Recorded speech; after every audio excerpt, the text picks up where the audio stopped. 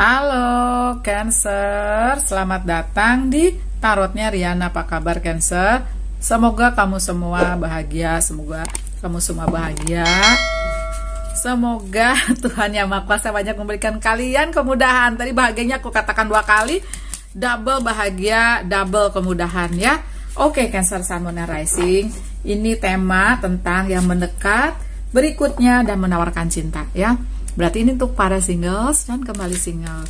Tetap pembacaan umum ya Cancer. Jadi nggak mungkin 100% akurat resonate atau cocok. Disarankan ke personal reading kalau mau lebih detail di mana nanti nomor WhatsAppnya banyak lewat.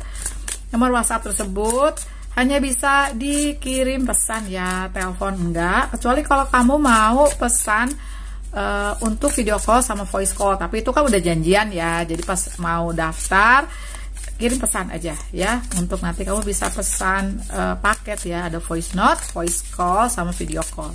Oke Cancer, kita akan lihat mengenai yang berikutnya datang yang menawarkan cinta ya. Oke, ada jodoh nggak sih yang datang? Coba kita lihat aja ya Cancer. Cancer ini moon aku ya.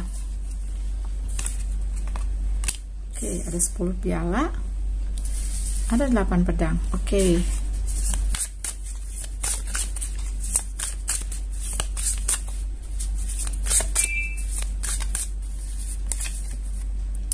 Ada empat pedang. Ada death. Oke. Okay. nah aku lihat untuk para cancer yang datang berikut yang yang menawarkan cinta ada. Malah dimungkinkan seperti aku tadi uh, lihat ya ada jodoh nggak sih? Ada. Tapi di sini untuk para cancer ya aku lihat kamu ada PR loh. PR untuk uh, ngambil waktu memberikan dirimu sendiri ruang dan waktu untuk pulih dari suatu heartache, dari suatu heartbroken, dari suatu kekecewaan atau uh, sakit hati ya dari suatu uh, hubungan cinta. Nah, karena ini adanya energinya 10 piala, bisa saja ini ada perceraian, bisa saja ada putus yang berat dan itu kayak melibatkan keluarga juga bisa. Nah, ini juga bisa representasi dari prediksi yang akan terjadi di hidupmu untuk para Cancer bahwa ke depan kamu akan menemukan seseorang yang cocok, seseorang yang memang diperuntukkan untukmu. Tapi kamu harus melewati suatu proses di mana tahapannya adalah memulihkan hatimu, mengambil alih lagi kontrol hidupmu, fokus ke kamu, menaikkan vibrasimu dengan melakukan hal-hal yang membuatmu yang memenuhi kamu, yang membuatmu bahagia. Memang pastinya dari energi 4 pedang, 8 pedang menuju ke 10 piala.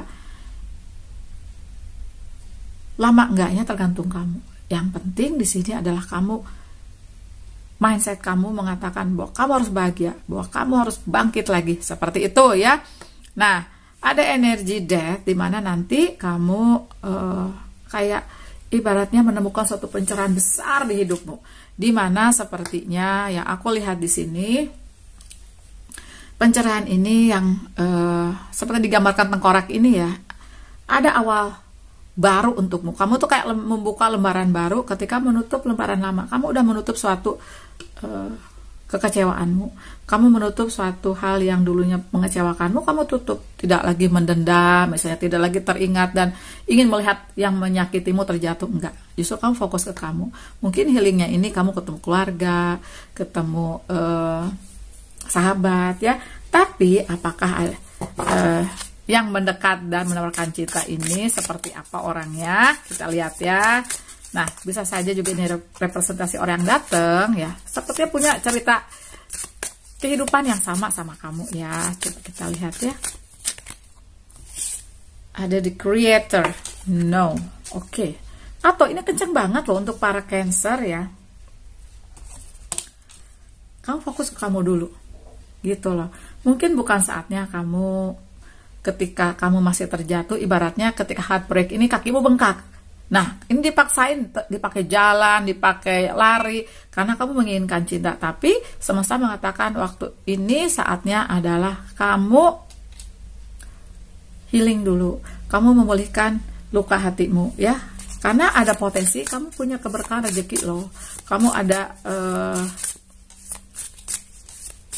kemudahan ke ranah sana dan itu juga membantu kamu memulihkan heartbreak kamu dan ketika uh, ada energi transformasi di hidupmu ya tuh energinya masih kurang kondusif untuk para cancer untuk menerima cinta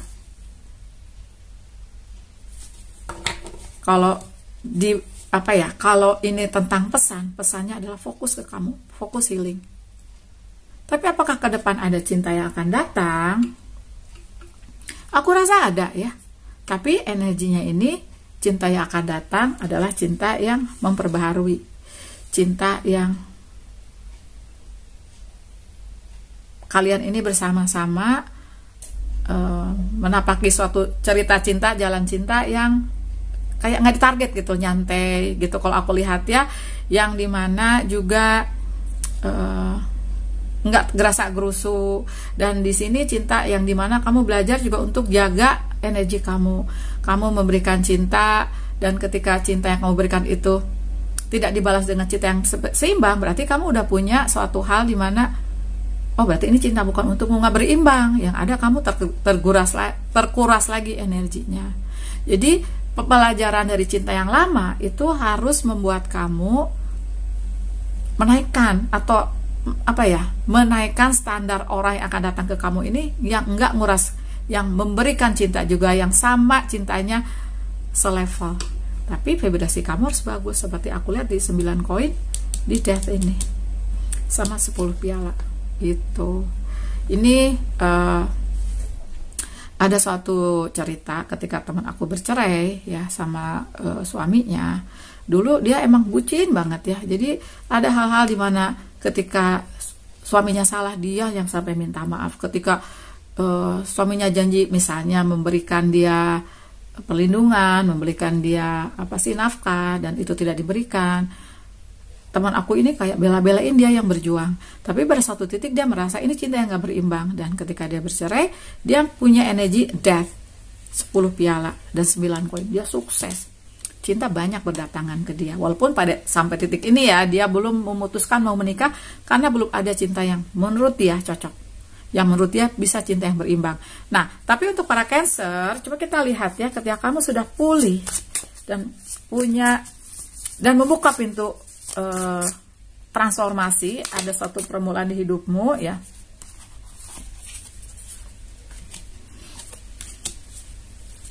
Apakah akan ada cinta yang datang?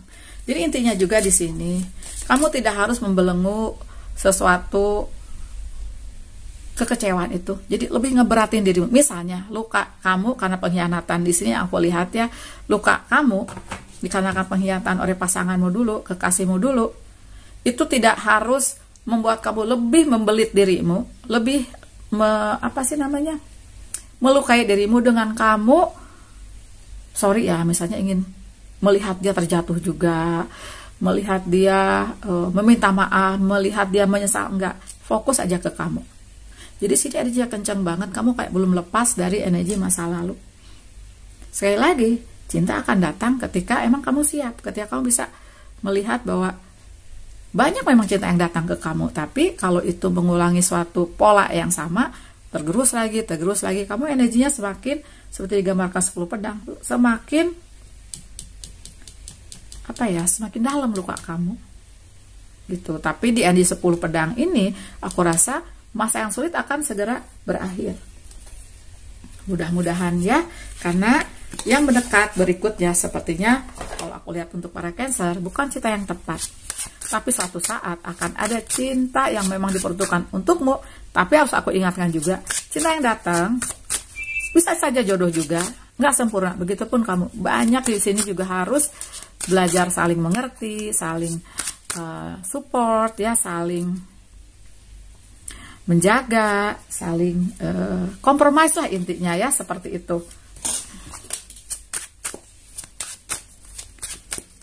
Jadi bisa bisa saja cinta yang datang ini ya mungkin menunggu proses kamu. Uh, oh gila setuju pedangnya sampai dua kali. Jadi sepertinya yang nonton di sini para Cancer saat Moon Racing, sepertinya ini kejadian mungkin masih hangat atau kamu masih membelenggu dirimu sendiri dari suatu pengkhianatan.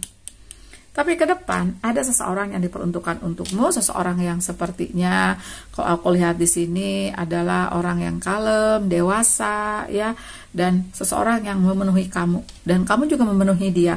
Tapi artinya nanti ada cinta-cinta yang datang yang di mana kamu belum siap, yang di mana jangan dipaksain untuk menerima cinta yang polanya masih sama.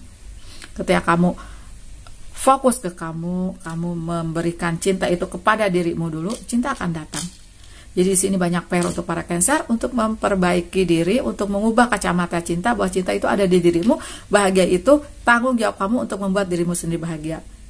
Kalaupun berpasangan, kalau kamu belum bahagia, belum mencintai diri sendiri, itu akan banyak menguras energimu. Nggak usah takut, suatu saat cinta yang tepat akan datang. Makasih banyak untuk para Cancer. Uh, kasih love, kasih jempol, bye.